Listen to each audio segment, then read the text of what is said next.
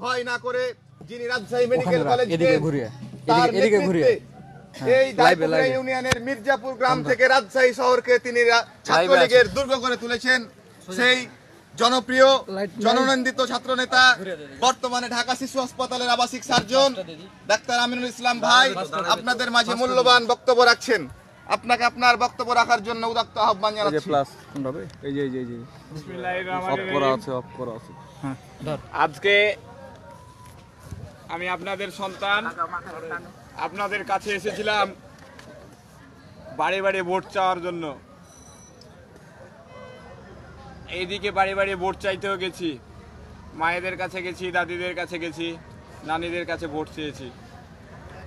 Vote চাওয়া শেষে আপনাদের এই সংক্ষিপ্ত পথসভা এই পথসভায় আপনারা উপস্থিত যারা আছেন, যারা ভোট চাওয়ার সময় উপস্থিত ছিলেন, আশেপাশে যারা আছেন, সবাইকে জানাই আমি আমার সংগ্রামী শুভেচ্ছা। আসসালামু আলাইকুম। আসলে বক্তব্য দেওয়ার কিছু নাই। আপনারা জানেন, আগামী তিরিশ তারিখ, আগামী তিরিশ তারিখ একাদশ জাতীয় সংসদ নির্বাচন। এই তিরিশ তারিখ একাদশ জাতীয় সংসদ নির্বাচন এমন একটি সময়ে উপস্থিত হতে যাচ্ছে মানে অনুষ্ঠিত হতে যাচ্ছে যে সময়টির মধ্যে আমরা একটি কঠিন বাস্তবতার মধ্যে দাঁড়িয়ে আছি। সেই বাস্তবতাটি হচ্ছে কি? সেই বাস্তবতাটি হচ্ছে আমাদের অস্তিত্বের ব্যাপার, সেই বাস্তবতাটি হচ্ছে আমাদের জন্মলগ্নের ব্যাপার, সেই বাস্তবতাটি হচ্ছে বাংলাদেশ সৃষ্টির সন্নিধ্যক্ষণের ব্যাপার। আপনারা অবগত আছেন, মুরব্বীরা যারা আছেন, আমার সাথে কিছুক্ষণ আগে মুক্তিযোদ্ধাদের অনেকের কথা হয়েছে। আপনারা উনিশশো একাত্তর সালে যুদ্ধ করেছিলেন। দেশ মাতৃকাকে হানাদারদের কাছ থেকে মুক্ত করার জন্য জীবন বাজি ধরে লড়াই করেছিলেন। অনেকেই শহীদ হয়েছিলেন। তিরিশ লক্ষ তিরিশ লক্ষ মানুষকে আমরা হারিয়েছিলাম। দুই লক্ষ মা বোনের সম্ভ্রমের বিনিময়ে আমরা আমাদের এই প্রিয় মাতৃভূমিটিকে পেয়েছিলাম। সেই প্রিয় মাতৃভূমিটিকে আমরা এই ডিসেম্বর মাসেই স্বাধীন করেছিলাম। সেই জন্য ডিসেম্বর মাস আমাদের জাতীয় জীবনে বিজয়ের মাস হিসেবে পরিচিত। সেই বিজয়ের মাসের তিরিশে ডিসেম্বর একাদশ জাতীয় সংসদ নির্বাচন হতে যাচ্ছে।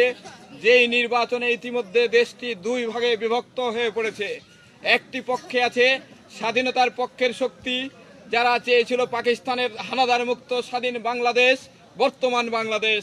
আর আরেক দিকে আছে যারা বাংলাদেশকে চায়নি, যারা পাকিস্তানিদের দোসর হিসেবে ছিল, যারা পাকিস্তানি হানাদার বাহিনীকে আমার মা বোনদের ইজ্জত লুণ্ঠন করতে সহযোগিতা করেছিল যারা আমাদের ভাই বোনদেরকে হত্যা করতে সহযোগিতা করেছিল, যাদের সহযোগিতায়, যাদের রাজাকারগিরি কাজকর্মের মাধ্যমে আমার দেশের তিরিশ লক্ষ মানুষ শহীদ হয়েছিল, আমার মা বোনেরা তাদের ভাইকে হারিয়েছিলেন, তাদের স্বামীকে হারিয়েছিলেন, তাদের বাবাকে হারিয়েছিলেন, অনেক মা বোন বিধবা হয়েছেন, অনেকে ভাই হারা হয়েছেন, অনেকে পিতৃ হারা হয়েছেন। সেই শোক কে কাজে লাগিয়ে সেই শোকের কথা আপনারা যদি উনিশশো একাত্তর সালের দিকে ফিরে যান তাহলে এখনও আপনাদের রক্তচক্ষু গরম হয়ে ওঠে। সেই রকম সেই শক্তির বিরুদ্ধেই আজকে আমাদেরকে ভোট চাইতে হচ্ছে। এইটি আমাদের জাতীয় জীবনে একটি লজ্জার বিষয়। সেই লজ্জার বিষয়টিকে আমাদের কাছে এখন সময় এসেছে। সেই লজ্জার বিষয়টিকে চিরতরে কি কবর দিব নাকি আমরা আগামী দিনেও সেটিকে জিইয়ে রাখব? সেই অস্তিত্বের সংকটে আমরা এখন আছি। তিরিশ তারিখের নির্বাচনে আপনারা জানেন যে দলটি বিএনপি ধানের শীষ প্রতীক নিয়ে ভোট করছে, তাদের নেত্রী এতিমদের টাকা মেরে খাওয়ার জন্য জেলে আছেন। তারা তাদের নির্বাচনী নির্বাচন কমিশনের যে বিধিমালা, সেই কমিশনের বিধিমালাকে অমান্য করে তাদের নেত্রী, তাদের দলীয় নেত্রী কিন্তু এখন খালেদা জিয়া না, তাদের দলীয় নেত্রী আর চোর আর দেশের টাকা মেরে যারা খেয়েছে আমার নেত্রী, জননেত্রী শেখ হাসিনাকে উনি উন্নয়নের নেত্রী বলে উনাকে হত্যা করতে চেয়েছিলেন। একুশে আগস্টে গ্রেনেড হামলা হয় করিয়েছিলেন। আইবি রহমানকে হত্যা করেছিলেন আসানুল্লাহ মাস্টারকে হত্যা করেছিলেন, এস এম কিবরিয়াকে হত্যা করেছিলেন। সেই আর একজন চোর, জনাব তারেক রহমান তাদের ভারপ্রাপ্ত চেয়ারম্যানের দায়িত্ব পালন করছেন কিন্তু তাদের নির্বাচনী কোনো পোস্টারে, কোনো কোনো ফেস্টুনে তারা তাদের দলীয় প্রধানের ছবি ব্যবহার করতে পারে না। তারপরেও তারা দলীয় প্রধান না হয়ে খালেদা জিয়ার ছবি ব্যবহার করে তারা আবার প্রমাণ করেছে, তারা কোনো আইন শৃঙ্খলা মানে না, তারা বিশৃঙ্খল একটি দল, তারা আসলে বিএনপি না, তারা বিশৃঙ্খল দল হিসেবে জাতির কাছে পরিণত হয়েছে। তাই আপনাদের কাছে উদত্ত আহ্বান, সারা দেশে একটি গণজোয়ার উঠেছে। আগামী দিনে এই বিশৃঙ্খল দলটিকে বাংলাদেশের মাটি থেকে কবর দিতে যাচ্ছে। এই বিশৃঙ্খল দলটি বাংলাদেশের মাটিতে আর রাজনীতি করার অধিকার থাকবে বলে আমরা মনে করি না।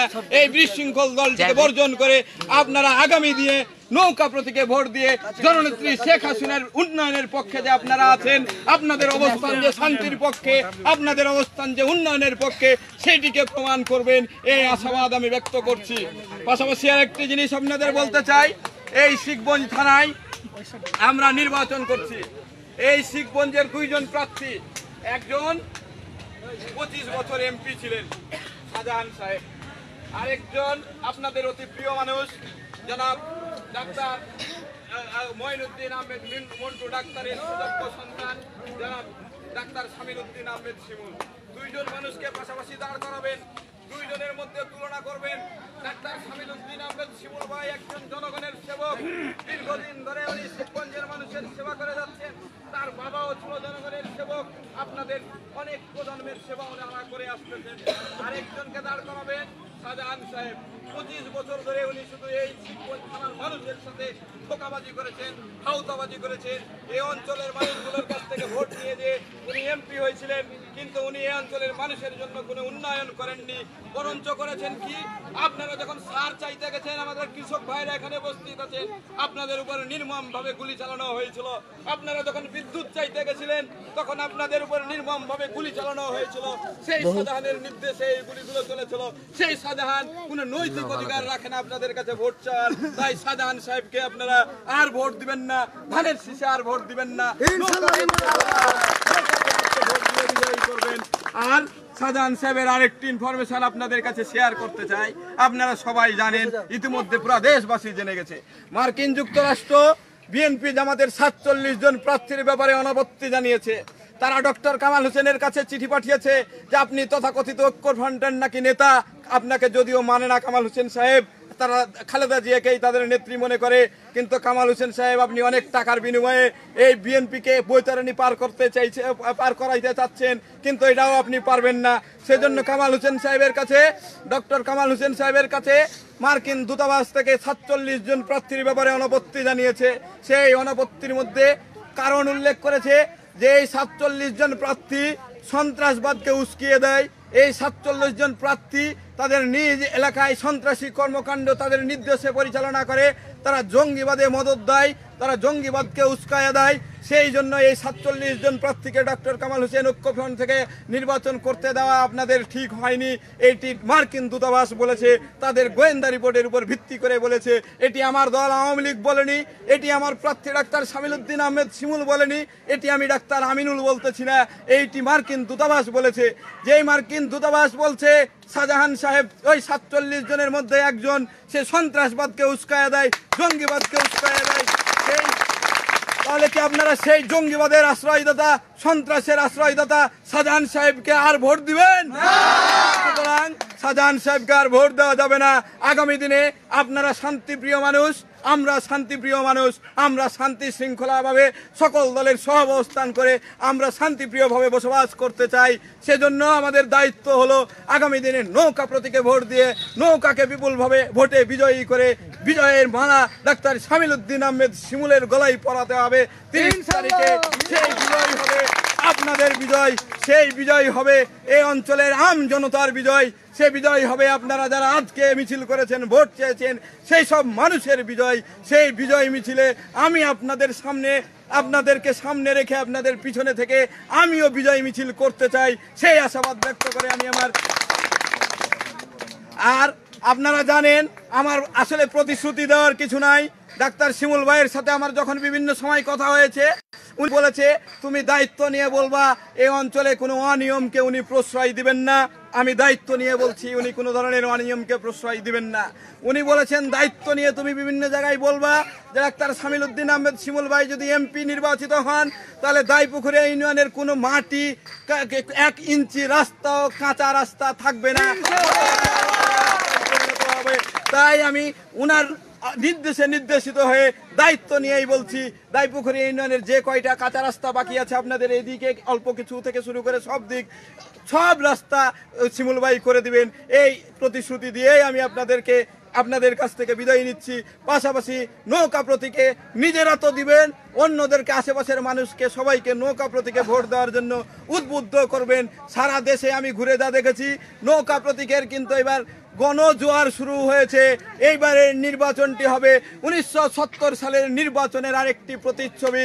উনিশশো সত্তর সালে জাতির জনক বঙ্গবন্ধু শেখ মুজিবুর রহমানকে যেভাবে দেশের মানুষ ভোট দিয়ে বিপুল ভোটে নির্বাচিত করেছিল এই ভোটটিতেও নৌকা প্রতীকে ভোট দিয়ে আমার নেত্রী জননেত্রী বিশ্ব নেত্রী শান্তির নেত্রী শেখ হাসিনাকে গণ গণভোটে বিজয়ী করবে এই আশাবাদ ব্যক্ত করে আমি আমার বক্তব্য শেষ করছি।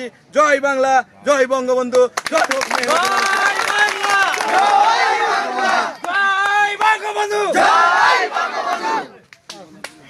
এ পর্যায়ে